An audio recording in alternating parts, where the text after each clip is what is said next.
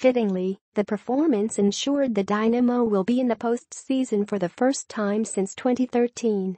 The Dynamo played to a 0-0 draw against Sporting Kansas City at Children's Mercy Park.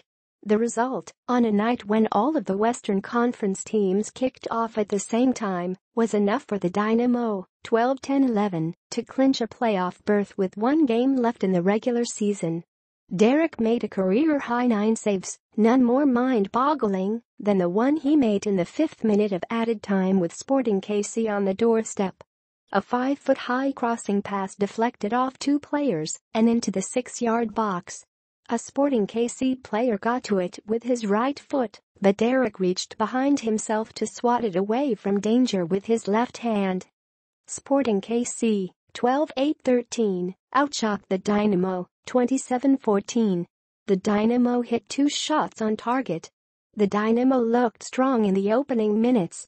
Alberth Elis got a few chances to hit top-speed dribbling into the attacking third, but never created any ultra-dangerous chances. Sporting KC eventually settled into its possession game, which severely limited the Dynamo's chance to get forward.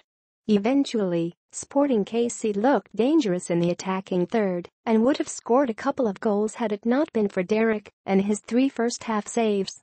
The Dynamo end the regular season on October 22 with a home game against the Chicago Fire. They are assured of no worse than the no. 5 seed which means a road game in the playoffs.